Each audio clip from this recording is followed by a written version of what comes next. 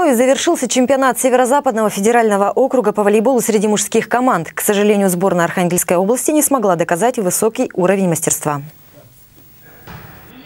Наша сплоченная дружина – чемпион этого турнира прошлого года. Волейболисты готовились и к нынешним соревнованиям. Были готовы подтвердить прошлогодний успех. Но, увы, из-за независящих от спортсменов и тренеров факторов сборная не смогла вовремя получить финансирование и была вынуждена отказаться от участия в чемпионате этого года.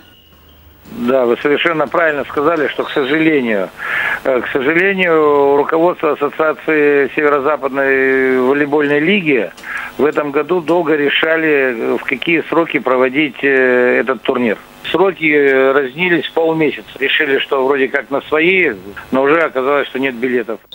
Как отметил Борис Высоких, впервые в истории наша сборная области по волейболу не смогла принять участие в столь престижном турнире и выразил свое пожелание к Ассоциации волейбола Северо-Западного региона впредь оповещать за два месяца до начала соревнований.